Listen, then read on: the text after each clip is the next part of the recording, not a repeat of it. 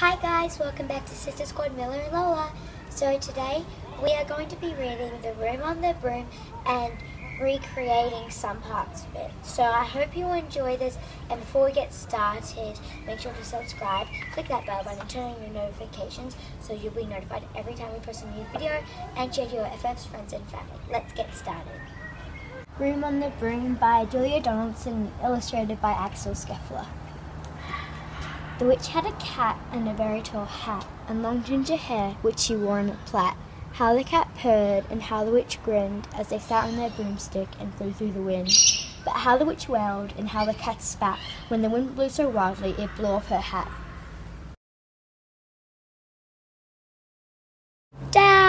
Cried the witch, and they flew to the ground. They searched for the hat, but no hat could be found. Then out of the bushes on thundering paws, there bounded a dog with the hat in his jaws.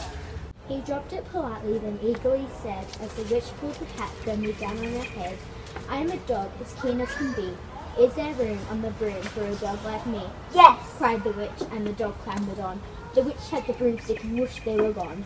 Over the fields and the forests they flew, the dog wagged his tail and the stormy wind blew. The witch laughed aloud and held onto her hat, but away blew the bow from her long ginger plait.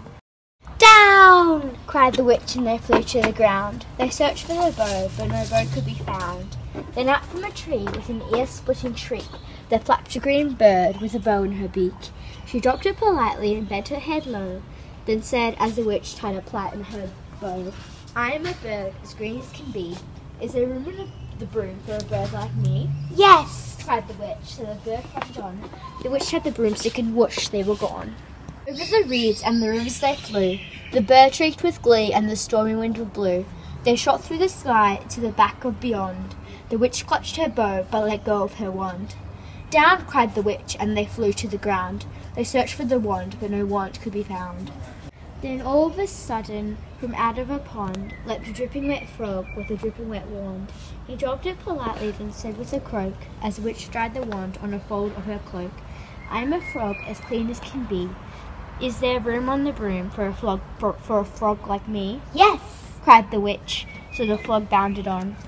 The witch had the broomstick and whoosh they were gone. Over the moors and mountains they flew. The frog jumped for joy and the broom snapped in two. Down fell the cat and the dog and the frog. Down they went tumbling into a bog.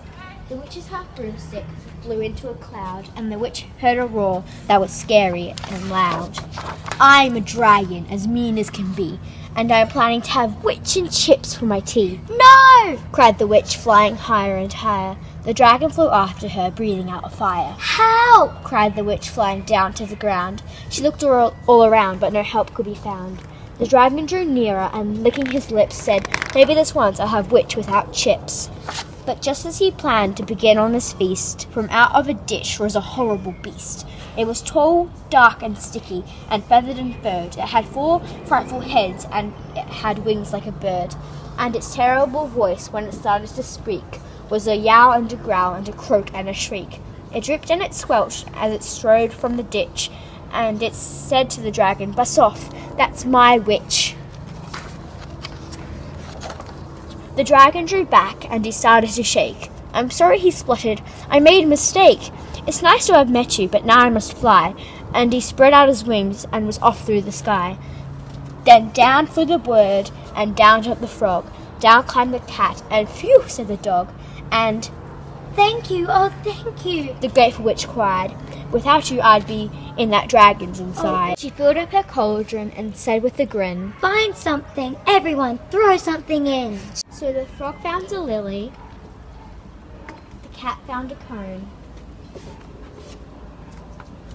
the bird found a twig, and the dog found a bone. They threw them all in, and the witch stirred them well, and while she was stirring, she muttered a spell. Ickety, zickety, zackety, zoo! Then out rose a truly magnificent broom, with seats for the witch, and the cat and the dog, a nest for the bird, and a shower for the frog. Yes, cried the witch, and they all clambered on.